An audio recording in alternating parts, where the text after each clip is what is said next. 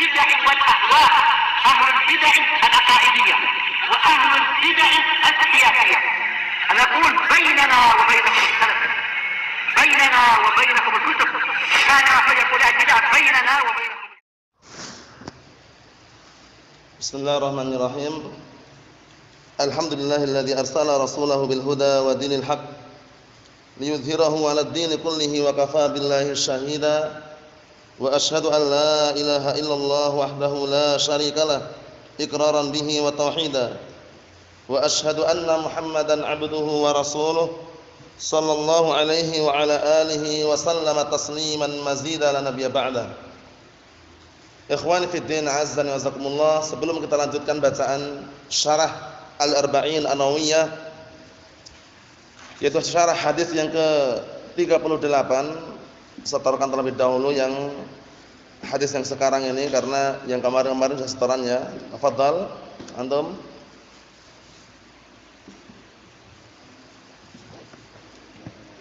Ayo.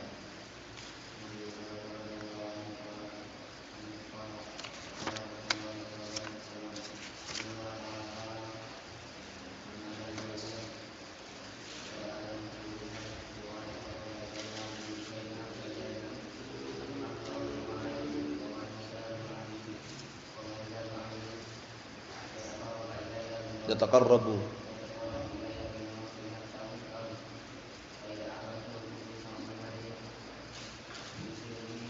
hmm?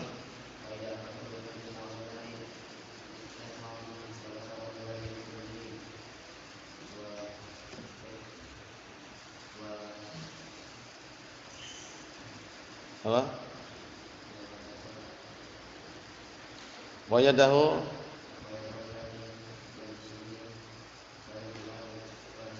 wa yadahu allati yabtisu biha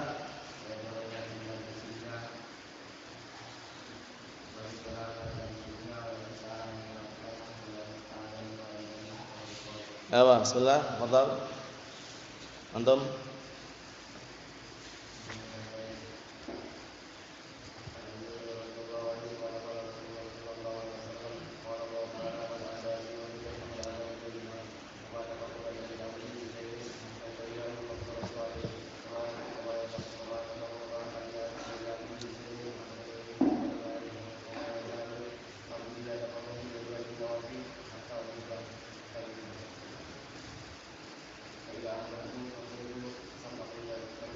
Idza ahbabtuhu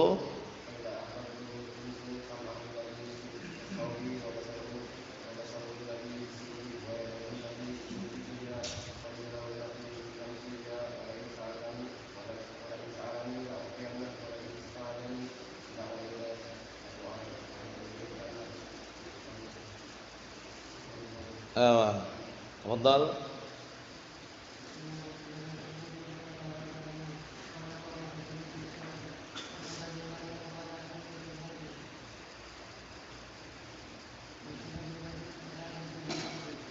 Apa?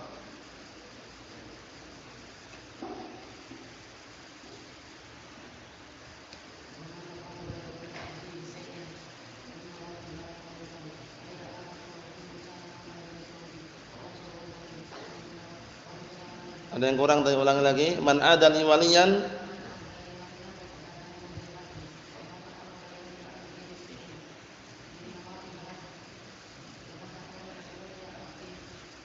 ahabba ilayya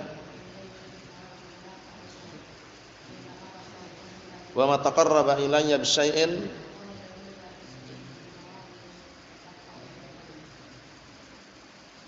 apa tafadhal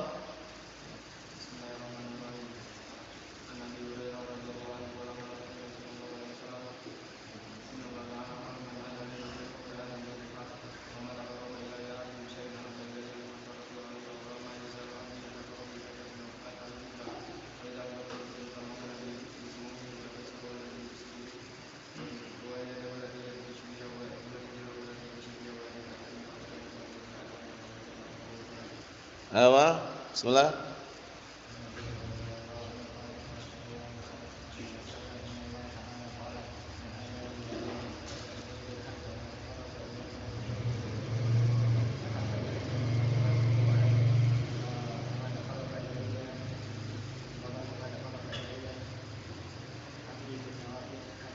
Wa ma yazal 'abdi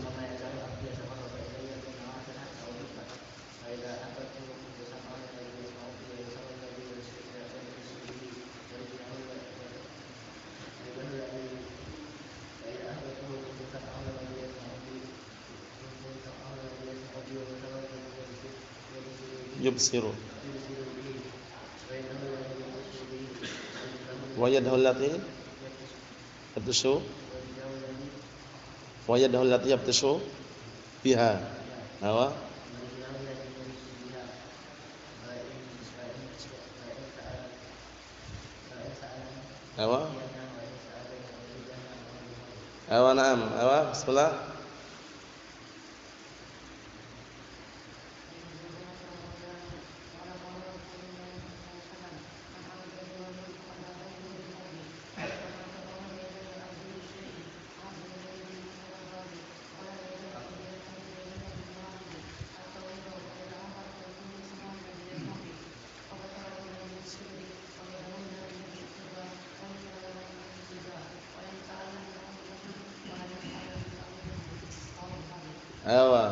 siap Eh bismillah. Yang kemarin? Bisa sudah La bas. Tafadhal Tafadhal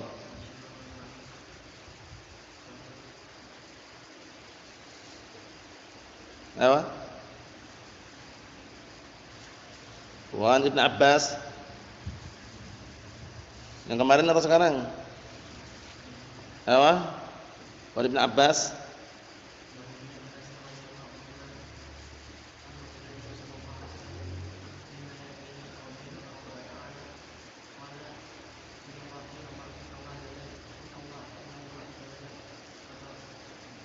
Allah Ta'ala.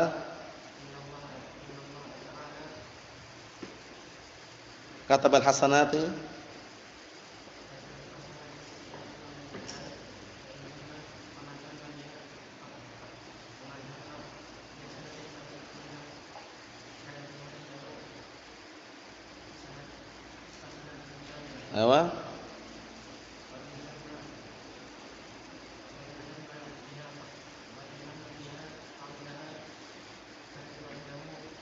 Katabahallah Katabahallahu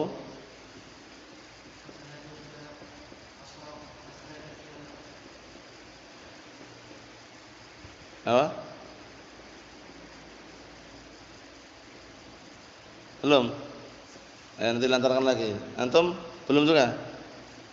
Ya, nanti dilantarkan ya. Nanti dihafal nanti na'am barakallahu fikum. Belum kan? Kita lanjutkan barakallahu fikum, selesaikan sekalian. Qala Asy-Syaikh Shalal Fauzan hafizallahu taala kata beliau Summa qala subhanahu kemudian Allah taala menyatakan dalam hadis qudsi tersebut wa ma taqarraba ilayya 'abdi bi syai'in habba ilayya mimma aftaradtu 'alaihi wa ma yazalu 'abdi yataqarrabu ilayya bin nawafil dan tidaklah hambaku mendekatkan diri kepadaku dengan sesuatu yang lebih aku cintai daripada apa? Daripada atau di antara apa-apa yang aku wajibkan atasnya. Maksudnya Allah Subhanahu wa taala mencintai sekali kalau seorang hamba mendekatkan diri kepadanya kepada Allah taala dengan perkara yang Allah wajibkan. Wa may yazalu 'abdi yataqarrabu ilayya bin nawafil dan senantiasa hambaku mendekatkan diri kepadaku dengan perkara-perkara sunnah, nawafil, perkara-perkara sunnah, perkara-perkara sunnah di antaranya banyak sekali. At-taqarrubu ilallahi matlubun wa ma'murun bih. Mendekatkan diri kepada Allah, mendekatkan dirinya kepada Allah Subhanahu wa taala, matlubun wa ma'murun bih. Diperintahkan dan juga diminta. Bi anta'malal hasanati wat ta'ati wal qurbat. Yaitu engkau melakukan perbuatan-perbuatan kebaikan, ketaatan dan juga perkara-perkara yang bisa mendekatkan diri kepada Allah taala. Wa taqarrubu ilallahi laisa bid-da'wa dan mendekatkan diri kepada Allah itu bukan semata-mata seruan atau pengakuan saja. Wa innama huwal a'mal, wa innama huwa bil a'mal. Tapi yang namanya mendekatkan diri kepada Allah Subhanahu wa taala itu adalah amalannya. Jadi seorang hamba mendekatkan diri kepada Allah Subhanahu wa taala dengan amalan-amalan bukan ucapan saja, bukan semata-mata cuma ngaku-ngaku atau pengakuan. Fatataqarrabu ilaihi bil a'mal salihah. Maka hendaknya engkau mendekatkan diri kepada Allah Subhanahu wa taala dengan amalan-amalan yang saleh, amalan yang baik. Wala tataqarrab ilahi illa bima. Dan jangan engkau mendekatkan diri kepada Allah kecuali dengan apa-apa yang Allah telah syariatkan. Fala tataqarrab ilahi bil bid'i wal khurafat. Jangan sekali-kali engkau mendekatkan diri kepada Allah dengan perkara-perkara bid'ah dan khurafat. Khurafat itu perkara-perkara kesyirikan, hayalan-hayalan. Paham ya? Nah, barakallahu fikum seperti itu. Qala sallallahu alaihi wa ala alihi wasallam Rasulullah sallallahu alaihi wasallam sabda man amila amalan laisa alaihi amruna fahuwa raddun. Barang siapa yang beramal dengan suatu amalan yang tidak ada dasarannya perintahnya dari kami, maka amalan tersebut tertolak. Ini adalah barometer ukuran untuk amalan apa kemarin? Amalan yang dohir. Ukuran amalan dohir diukur dengan hadisnya ini. Hadisnya siapa? Aisyah, Ummul Mukminin, Ummi Abdullah radhiyallahu anha. Man amila amalan laisa alaihi amruna fahuwa raddun. Adapun amalan batin diukur dengan hadisnya siapa? Hadisnya siapa?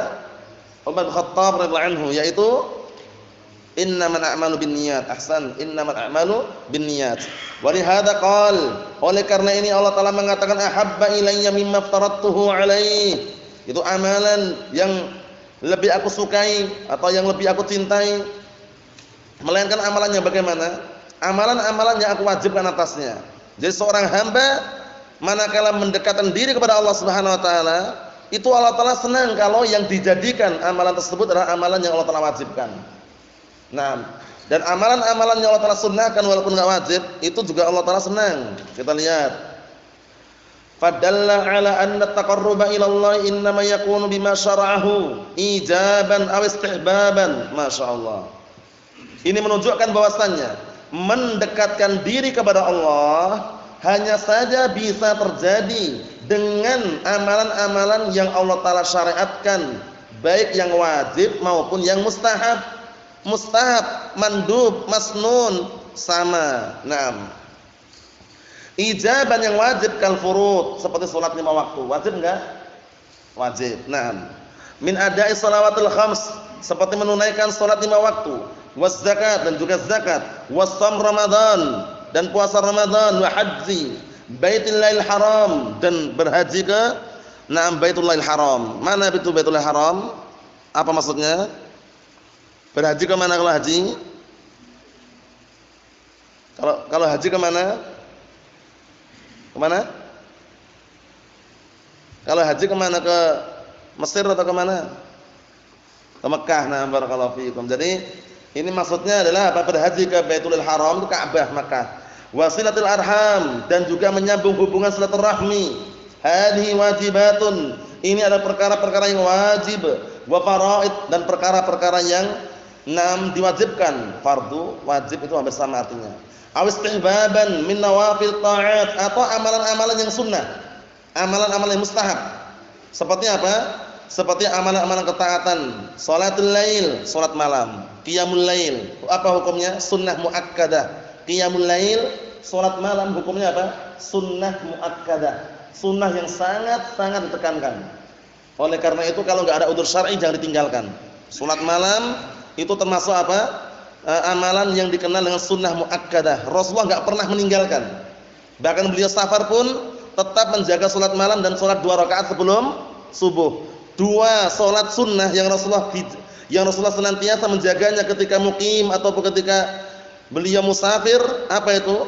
Qiyamul lail sama dua rakaat sebelum subuh. Eh, dua rakaat sebelum subuh. Karena keutamanya sangat besar. Qiyamul lail apa keutamanya qiyamul lail salat malam di antaranya? Apabila qiyamul lail tersebut dilaksanakan di akhir malam seperti malam terakhir, pertama disaksikan oleh para malaikat salatnya. Masyhudah, disaksikan oleh para malaikat. Yang kedua, bertepatan dengan turunnya Allah Subhanahu wa taala ke mana?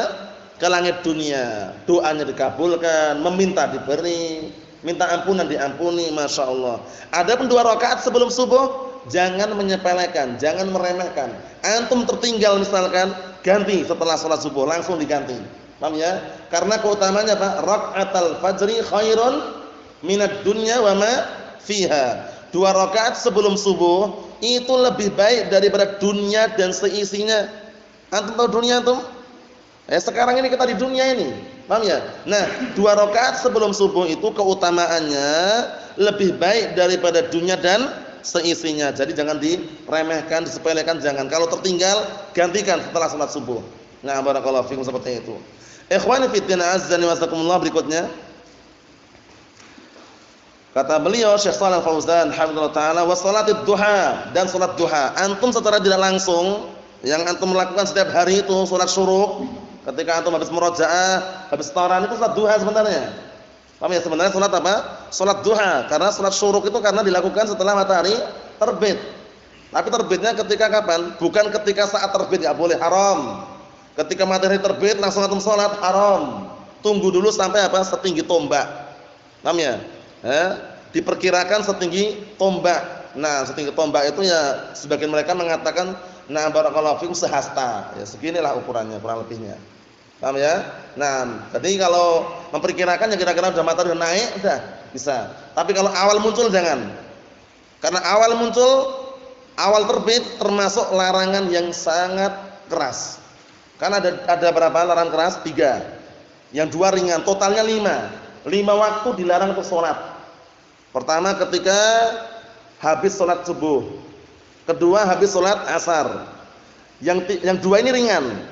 Yang tiga ini larangan keras, yaitu ketika matahari terbit, ketika matahari terbenam, ketika matahari di tengah-tengah.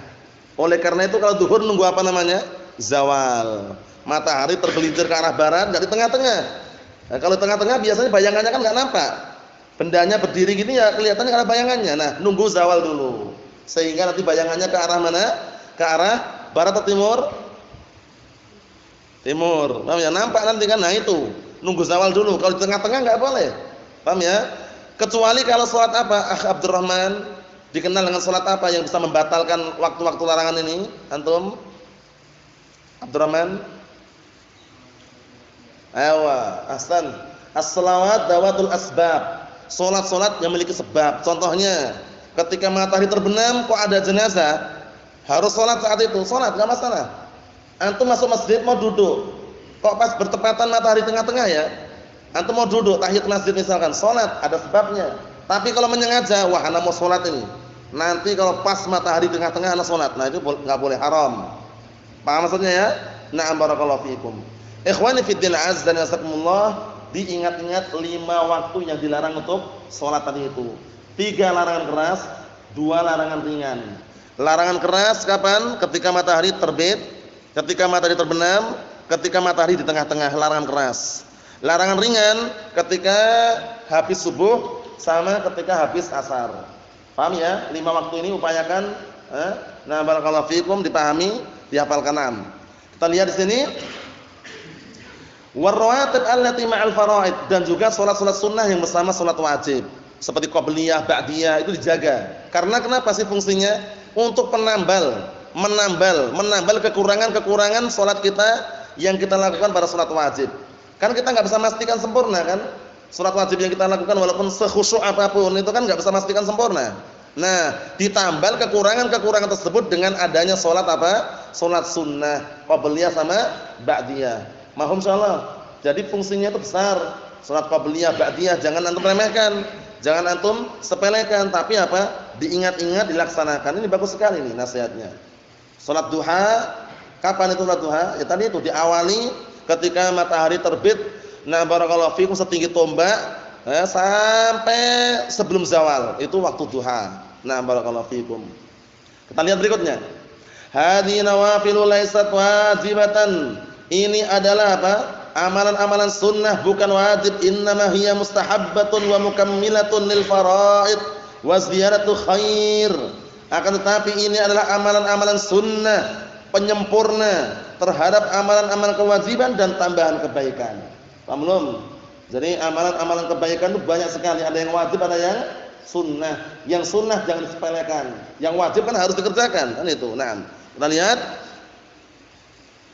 Kata beliau di situ Fala yanbaghi muslim an yaktasira 'ala al-fara'id, maka enggak selayaknya bagi seorang muslim untuk apa? meremehkan atau mencukupkan diri dengan amalan-amalan yang wajib saja. Tapi harus diiringi dengan amalan-amalan yang amalan sunnah, amalan-amalan tambahan diiringi sebagai apa? penyempurna. Karena kalau enggak diiringi dengan amalan-amalan sunnah, dikhawatirkan masih apa? Masih berlubang amalan-amalan kewajiban tersebut. Nah, kita lihat Bal alaihi an yatazawwada minan nawafil aidha. Bahkan wajib atas orang tersebut untuk menambah bekal, mencari perbekalan dari amalan-amalan sunnah juga. Fahada huwa waliyullah.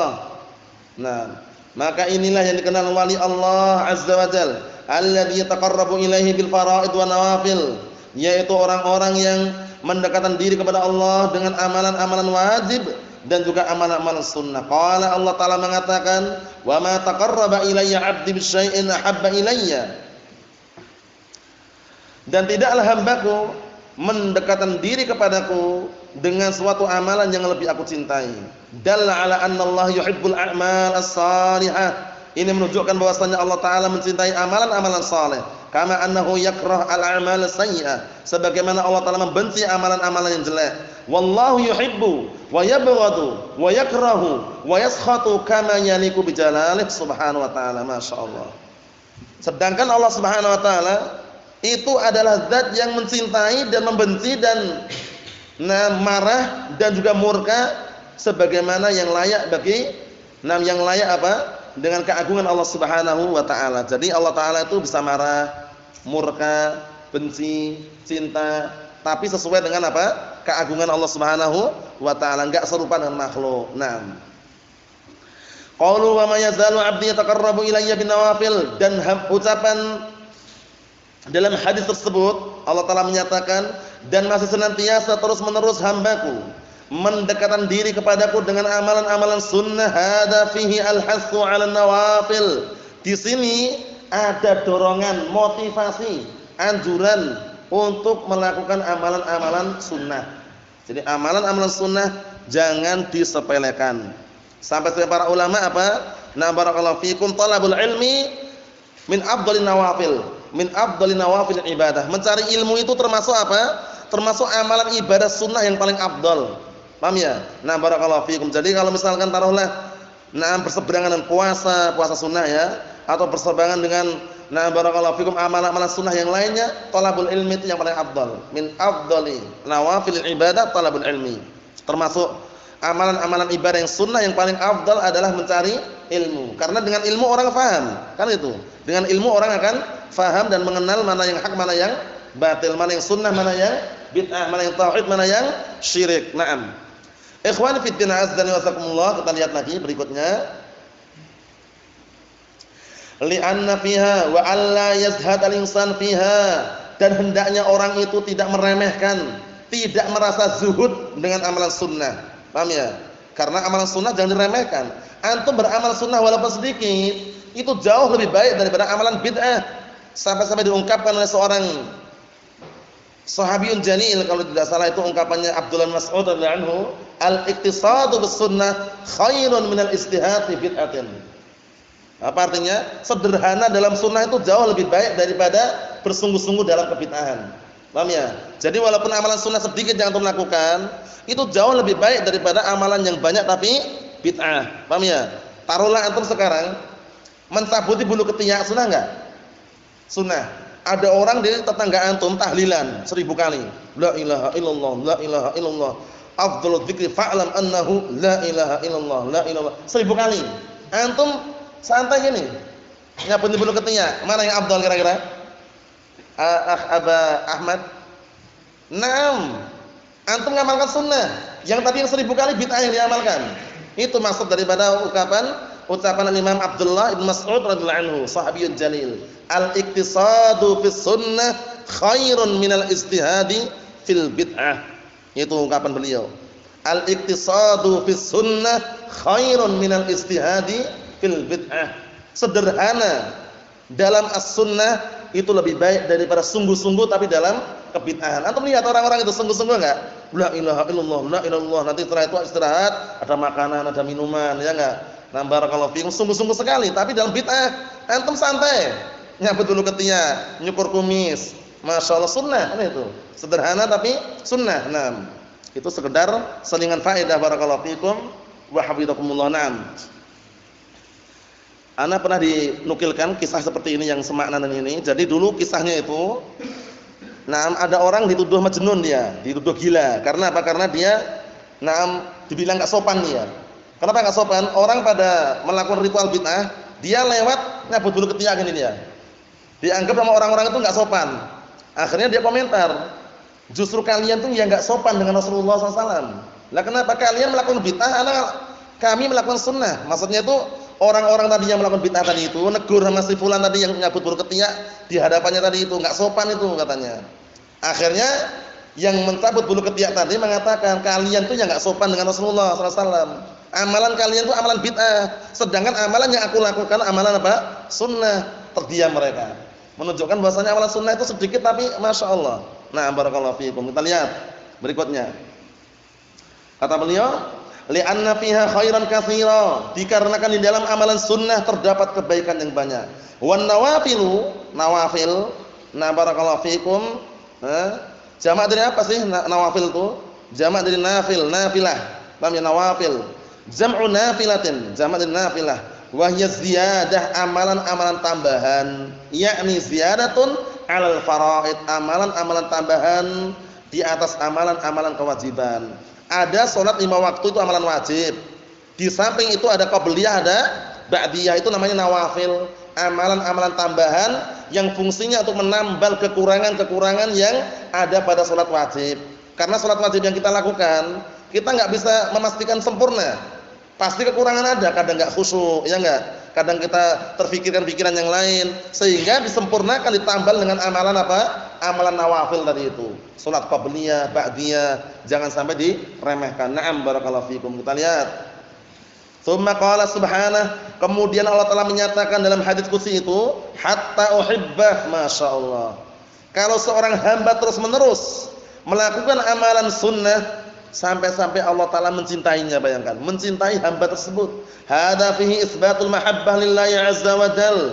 Di dalam hadis ini terdapat penetapan sifat mahabbah untuk Allah Subhanahu taala. Karena Allah taala mencintai. Allah Subhanahu wa taala mencintai. Wa annahu yuhibbu ibadahu salihin. Dan bahwasanya Allah taala mencintai hamba-hambanya yang saleh. Wa yuhibbul a'malus salihah dan juga mencintai amalan-amalan yang salihah. Di antara dalil yang menunjukkan Allah taala memiliki sifat cinta apa di antaranya? Qul in kuntum tuhibbunallaha fattabi'uni yuhibbukumullah. Dalil yang lainnya lagi, Innallaha yuhibbut tawabin wa yuhibbul mutatahhirin. Dalil yang lain lagi. Apa lagi? Hah? Wallahu yuhibbul muhsinin. Paham ya? Enggak masalah simpel padat tapi ada lafaz mahabbah di situ. Paham ya? Nah barakallahu fikum. Ada enggak tingkatan kecintaan yang lebih daripada mahabbah? Apa namanya? Khaulah. Al-khullah namanya al-khullah. Nah, siapa di antara orang atau manusia yang mendapatkan gelar eh, kecintaan yang tinggi ini al-khullah ini siapa? Semua orang atau hanya beberapa orang saja? Eh? Dua orang nabi, siapa dan siapa? Nabi Muhammad sama Nabi Muhammad mana? Nabi Ibrahim sama? Yakin? Ayo, enam. Nabi Ibrahim dengan Nabi Muhammad sallallahu alaihi wa ala alihi wasallam. Apa kata Rasulullah sallallahu alaihi wasallam dalam hadis yang sahih? Ittakhadha ittakhadha Allah Ibrahim khalila kama ittakhadani kama ittakhadani Allah khalila. Wa law kuntu muttakhidan min hadhil ummah khalilan latakhadtu Abu Bakr khalila. Artinya apa? Allah Subhanahu wa taala ittakhadani Allah khalila kama ittakhadha Ibrahim khalila. Lau kuntu muttakhidan min ummati khalila latakhadtu Abu Bakrin khalila. Apa artinya? Allah taala telah menjadikan aku khalil sebagaimana Allah taala menjadikan Ibrahim khalil. Khalil itu kekasih, mendapatkan kecintaan yang lebih. Paham ya?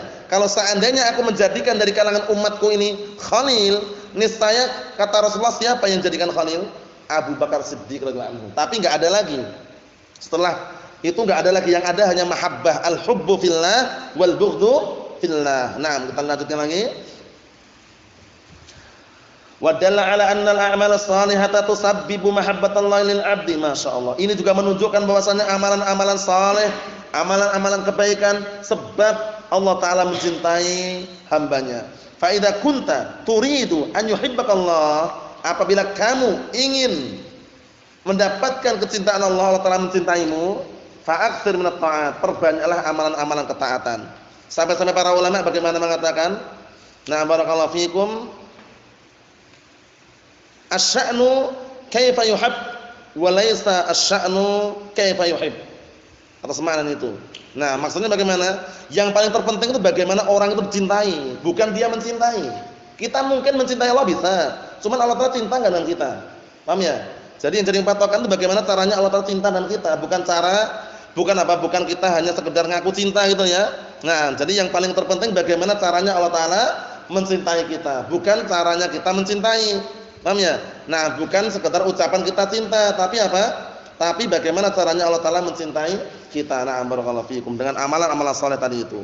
Fa idza kunta turidu an yuhibbakallah fattabi'ir rasul sallallahu alaihi wa ala alihi wasallam.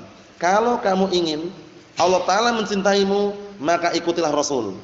Cara sebab seorang hamba agar mendapatkan kecintaan Allah mengikuti siapa? Rasulullah sallallahu alaihi wa ala alihi wasallam. Qala ta'ala, "Qul in kuntum tuhibbunallaha fattabi'uni yuhibbukumullah wa yaghfir lakum dzunubakum." Masyaallah. Katakanlah wahai Muhammad, jika kalian itu benar-benar cinta kepada Allah, ikutilah aku.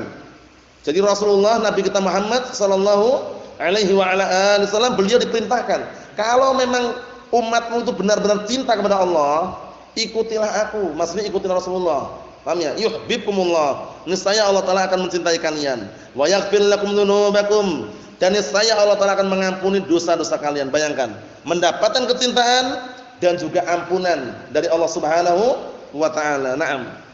Qala subhanahu Allah Taala berfirman, "Fa idza ahbabtuhu kuntu sam'ahu alladhi yasma'u bih wa basarahu alladhi yubsiru bih wa yadahu allati yabtashu biha wa rijlahu allati yamshi biha bayangkan seakan-akan menyatu seakan-akan ya ya. Tapi itu pendapat yang keliru yang mengatakan Allah telah menyatu dengan makhluknya. Pendapat kelompok sesat. Dari kalangan siapa yang mengatakan Allah telah menyatu dengan makhluknya? Allah telah berada di dalam makhluknya. Pendapat kelompok apa ini? Siapa yang ingat? Antum ingat? Antum? Ada dua kelompok kelompok sesat berbahaya. Dan bisa dikatakan dua kelompok ini sangat-sangat bahaya sekali. Mengatakan Allah Taala itu menyatu dengan makhluknya atau Allah Taala itu berada di dalam makhluk tersebut. Kelompok apa? Ingat ya? Antum? Sufiyah masih umum, ada yang lebih khusus lagi. Antum Mas Ibrahim? Mufawidah? Wah itu lain lagi itu Mufawidah. Jangan campur-campur. Ayo. Abdullah Tafadhal. Ittihadiyah satunya. Antum? Tambahin lagi Abdullah satunya. Antum? Apa? Ittihadiyah sama Wahdatul Wujud sama. Apa satunya lagi? Sering tak sebutin kalau enggak salah. Atau ingat? Hululiyah, ahsan. Ini al-hululiyah sama nam ittihadiyah. Paham ya? Ittihadiyah mengatakan Allah taala menyatu dengan makhluknya, wahdatul wujud. Paham ya? Kamu ya Allah, Allah ya kamu gitu loh. Nah, ngerti kan? Seperti itu. Nah, barakallahu fiikum sampai-sampai dikatakan ma fil jubbah ilallah. Tidak ada dalam jubah ini kecuali Allah. Maksudnya bagaimana? Termasuk ulama mereka yang mereka agungkan. Nah, barakallahu fiikum Ibnu Arabi mengatakan ma fil jubbah ilallah. Tidak ada dalam jubah ini kecuali Allah. Maksudnya apa maksudnya? Dia sendiri ngaku Allah itu loh. Paham ya? Kan parah. Kamu ya Allah, Allah ya kamu itu loh. Itu ittihadiyah. Kalau al-hululiyah, hulul itu Allah Taala itu berada di dalam makhluk itu. Makhluk itu ya makhluk tapi di dalamnya ada Allah itu loh. Ya sama sebenarnya menyatu. Cuman bedanya kalau ittihadiyah itu benda ini ya Allah itu loh. Allah itu ya benda ini gitu loh. Parah. Kalau hululiyah ini memang makhluk, cuman di dalam makhluk itu ada Allah. Allah musta'an. Kedua-duanya apa? Kelompok yang parah dan keliru. Jangan diikutin barakallahu fikum. Nah, apa terus apa maknanya ini tulisan? Maknanya apa kita lihat? Apabila aku sudah mencintai hamba tersebut, maka aku adalah pendengarannya, aku adalah penglihatannya, aku adalah tangannya, aku adalah kakinya, bayangkan. Seakan-akan nempel seakan-akan, tapi kita lihat maknanya. Bi makna annallaha yusaddiduhu fi hadil umur. Maknanya Allah Subhanahu wa taala memberikan kelurusan membeli, memberikan apa? kelurusan di dalam perkara-perkara ini. Maksudnya bagaimana? Pandangannya lurus, pendengarannya lurus, tangannya lurus, kakinya lurus. Maksudnya bagaimana? Maksudnya semua perbuatannya itu lurus di atas kebaikan. Kalaupun mendengar mendengar kebaikan. Kalaupun melihat melihat kebaikan. Kalaupun memegang dengan tangan memegang kebaikan. Kalaupun dia berjalan kaki, berjalan menuju kebaikan itu maksudnya. Diberikan kelurusan oleh Allah Subhanahu wa taala di dalam perbuatannya. Paham ya? Nah, barakallahu fiikum. Kita lihat. Fala dur illa ila ma yurdillah, maka dia tidak melihat. Bayangkan, kalau sudah Allah taala sudah mencintainya, maka hamba tersebut tidak melihat kecuali ila ma yurdillah, kecuali kepada perkara yang Allah telah ridhoi. Bayangkan, Masya Allah. Wala yasma' bi udhunihi illa ma dan Allah Taala ketika mencintai hamba tersebut maka hamba tersebut tidaklah mendengar kecuali apa? Tidaklah mendengar dengan telinganya kecuali apa-apa yang Allah telah ridhoi. Masya Allah. Fayaghuddu basarahu amma yuskhitullah. Maka hamba tersebut menundukkan pandangannya dari perkara-perkara yang membuat Allah Taala murka. Ini termasuk perkara yang sangat mulia nih barakallahu fikum. Kalau Allah Taala mencintai hambanya hambanya diberikan apa tadi? Kelurusan dalam semua urusannya. Sampai mata saja tunduk dia. Eh, tunduk enggak mau melihat perkara yang haram. Masya Allah. Nasallaha min fadlih. Naam. Kita lihat sini. Kata beliau, "Wala yasma'i ma harramallah" dan tidak mendengar kepada perkara yang Allah telah haramkan. Wa inna ma yasta'milu hadil hawas fi ta'atillah azza. Akan tetapi hamba tersebut kalau sudah Allah Taala cintai, Allah Taala sudah menjadi pelindung dan juga apa? Menjadi nah barakallahu fikum penolong, memberikan kelurusan kepada hamba tersebut, apa yang terjadi? Dia tidak menggunakan hawas, apa hawas? panca indera. Tidak menggunakan panca inderanya kecuali apa? Nah barakallahu fikum pada ketaatan kepada Allah Subhanahu wa taala. Wa inna yasta'milu hadil hawas fi ta'atillah azza wa jalla. Hanya saja hamba tersebut menggunakan lima nah barakallahu fikum indra hanya untuk ketaatan Allah Subhanahu wa taala.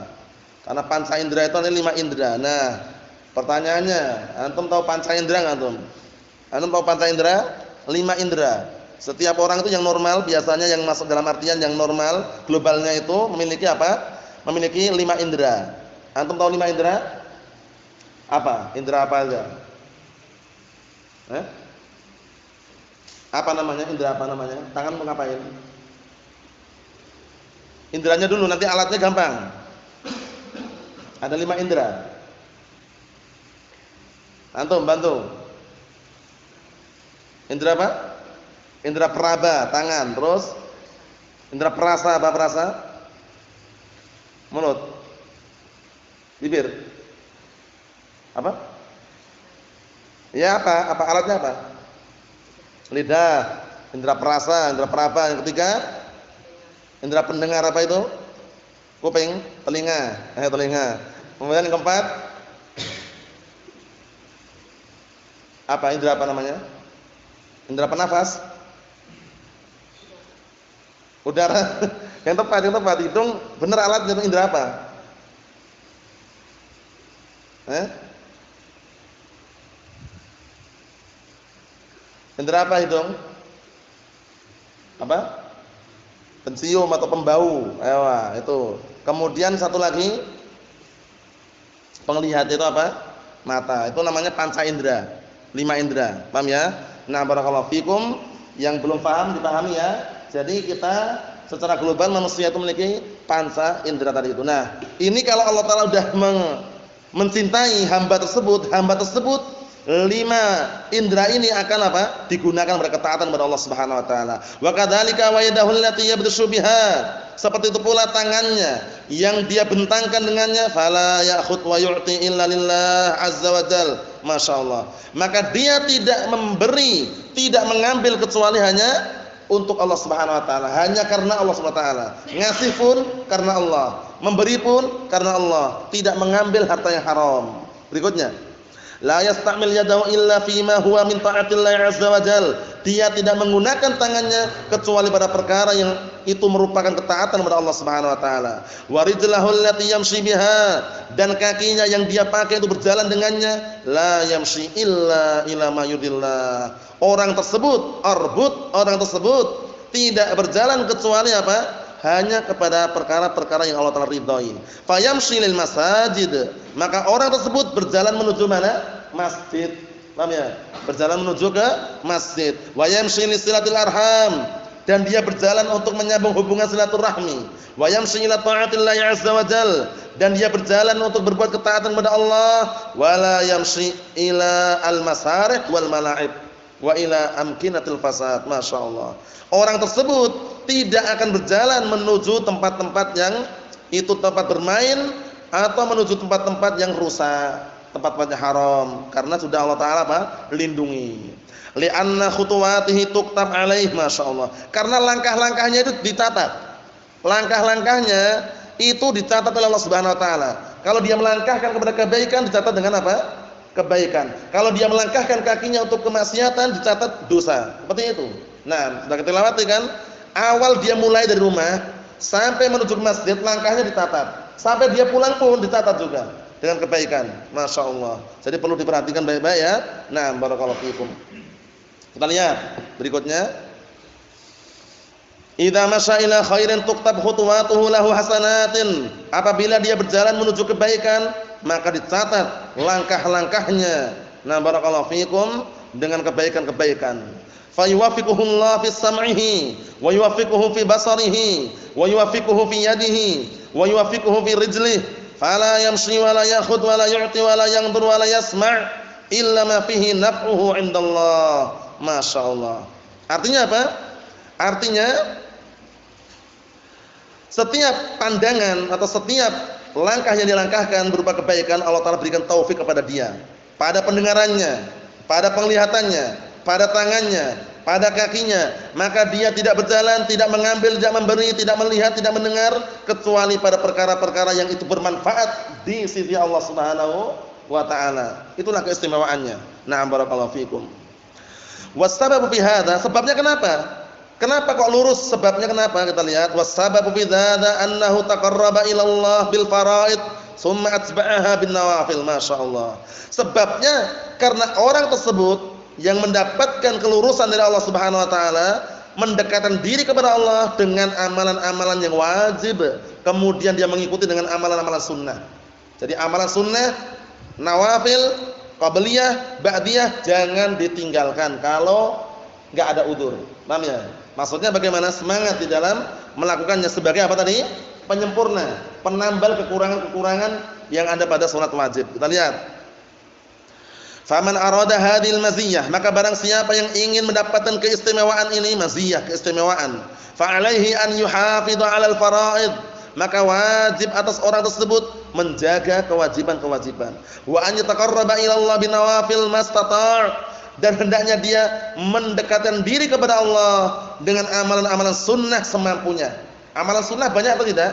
Banyak sekali dan enggak mungkin kita melakukan melakukan semuanya. Karena apa? Karena kita enggak memiliki kemampuan yang semuanya kita laksanakan. Hanya sesuai dengan kemampuan yang Allah telah berikan kepada kita. Fattaqullaha mastata'tum. Bertakwalah kalian kepada Allah Subhanahu wa taala semampu semampu kalian. Nah, kita lihat berikutnya. Fahadhi maziyatun 'azimatun. Ini merupakan keistimewaan yang agung. Wa hiya sahlatun liman waffaqahullah azza wa jalla wa sa'batun 'ala man haramahullah. Masyaallah. Ini merupakan kemudahan bagi orang yang Allah telah berikan taufik kepadanya dan sulit bagi orang yang Allah telah haramkan.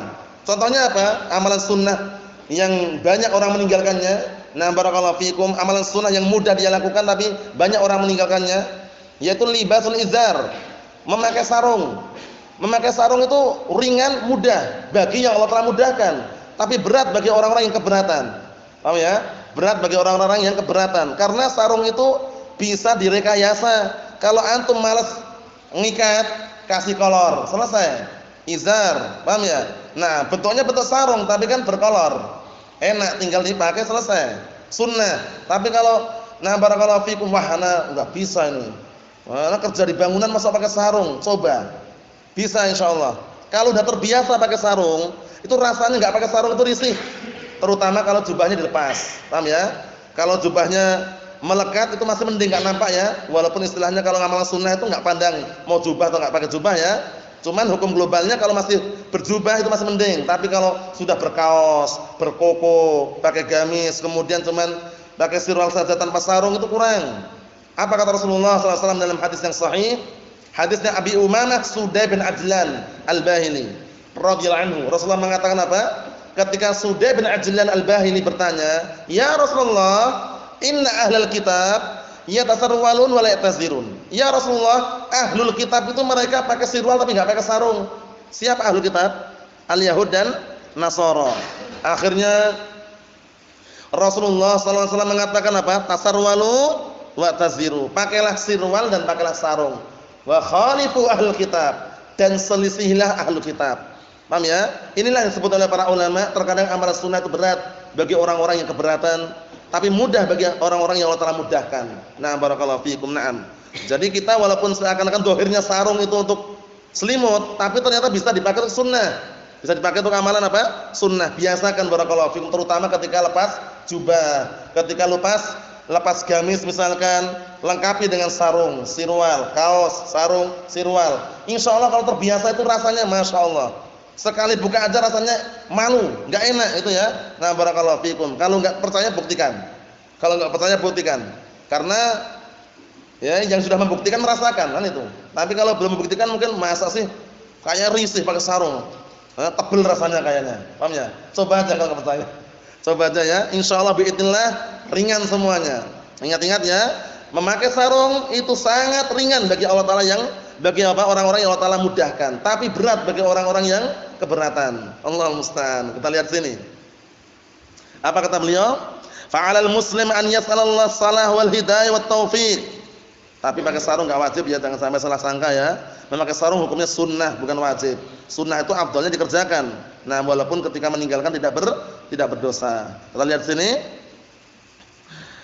Fa'alal muslim an yas'alallah salaha wal hidayah wat taufiq, maka wajib atas seorang muslim meminta kepada Allah kebaikan, hidayah dan taufik. Wa yasta'ina billah azza wa jal dan minta pertolongan kepada Allah wala yakun 'ala al-'aks mukhalifan lillahi azza wa jal, tabi'an lil hawa, tabi'an li syahwati nafsi, tabi'an syaitanir rajim. Falyahdhar min hadza, masyaallah. Nasihat yang sangat bagus sekali. Jangan sebaliknya menyelisihi Allah taala, jangan mengikuti hawa nafsunya, jangan mengikuti apa? syahwat dirinya, jangan mengikuti setan yang terkutuk. Maka hendaknya dia berhati-hati dari perkara ini. Yang diikuti adalah apa? Dalil Al-Qur'an dan As-Sunnah. Qaulu subhanahu wa la in sa'alani la'utiyanna wa la in la'u'idanna. Ini termasuk hasilnya. Kalau Allah taala sudah cinta dengan hambanya, enggak usah nanya sudah. Kalau Allah taala sudah senang, cinta dengan hambanya ini hasilnya. Meminta diberi, minta perlindungan dilindungi bayangkan. Wala in sa'alani la'utiyanna. Kalau hamba tersebut meminta kepadaku, sungguh niscaya aku akan memberikannya. Wala in ista'adani la'uidanna. Dan apabila hamba tersebut minta perlindungan kepadaku, sungguh aku akan melindunginya. Tamamul hadis yufassiru awwalu awwalahu. Kesempurnaan hadis ini menafsirkan menjelaskan yang pertama, maksudnya bagaimana? Maksudnya kalau Allah taala sudah memberikan kelurusan pendengarannya, penglihatannya, tangannya, kakinya, maka Allah Subhanahu wa taala akan apa? Memberikan apa saja yang dia minta.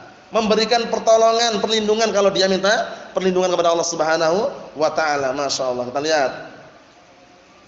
Maksudnya yang, yang mana yang ditafsirkan? Kuntu sam'ahu alladhi yasma'u bih wa basaruhu alladhi yabsir biha bihi wa yadahu allati yabtishu biha wa rijluhu allati yamshi biha wa la in sa'alani la'utiyanna wa la in ista'adani la'uidanna fa akhirul hadis yufassiru awwalahu. Akhir hadis ini potongan hadis ini perhatikan baik-baik akhir hadis ini wa la in sa'alani la'utiyanna wa la in ista'adani la'uidanna ini apa? Menjelaskan yang pertama tadi itu. Apa yang pertama? Pendengaran, penglihatan, tangan, kaki. Kalau Allah taala sudah memberikan perlindungan, kelurusan, maka Allah Subhanahu wa taala akan memberi. Akan memberi apa yang dia minta. Walaysa ma'nahu anna Allah yahillu fil 'abdi wa yadkhulu fihi. Ini bantahan terhadap apa? Terhadap kelompok sesat tadi itu. Al-hululiyah sama apa? Al-ittihadiyah. Dan bukan maknanya bahwasanya Allah taala yahillu fil 'abdi. Bukan maknanya Allah taala itu berada di dalam hamba. Eh, menyatu dengan hamba wa yadkhulu fihi dan masuk di dalamnya kama taqunuhu al-hululiyah wal bahaiyah qabbahahumullah. Masyaallah Allah musta'an sebagaimana yang diungkapkan al-hululiyah wal bahaiyah. Bahaiyah itu pecahan dari kelompok sufiat juga. Mirip. Pemahamannya mirip. Qabbahahumullah. Semoga Allah taala memberikan apa kejelekan kepada mereka. Ini doa jelek ini ya. Maksudnya hululiyah, ittihadiyah itu mengatakan Allah taala menyatu itu loh. Menyatu berada di dalam makhluk tersebut. Jadi kata mereka, ana kalau ngambil ilmu enggak perlu lewat perantara, langsung ngambil ilmu dari Allah taala katanya. Lah kok bisa? Lah ana ini Allah gitu. Allah itu ya ana katanya. Sampai separah itu bayangkan itu. Allah musta'an. Kita lihat, inna ma'nahu anna Allah yusaddiduhu wa yu'inuhu wa yuwaffiquhu wa yahmi wa yansuruhu. Hada makna. Akan tadi maknanya adalah Allah taala itu memberikan kelurusan kepada orang tersebut dan menolongnya, memberikan taufik kepadanya dan menjaganya serta menolong orang tersebut. Ini maknanya. Bukan Allah Taala nyatu nempel itu enggak. Jadi antum pahami baik-baik ya. Jangan seperti orang-orang apa? Ittihadiyah dan al-hululiyah. Kata mereka berdalilkan dengan firman Allah Subhanahu wa taala wa huwa ma'akum ainama kuntum. Allah taala bersama kalian di mana pun kalian berada. Berarti Allah taala menyatu. Kita katakan itu adalah pendapat yang batil, penafsiran yang keliru. Yang benar itu Allah taala bersama hambanya apanya? Yang bersama hamba pengawasannya, ilmunya itu yang bersama hambanya bukan zatnya menyatu dengan hamba itu keliru ya. Naam nasallahu alaihi wasallam walhamdulillah rabbil alamin.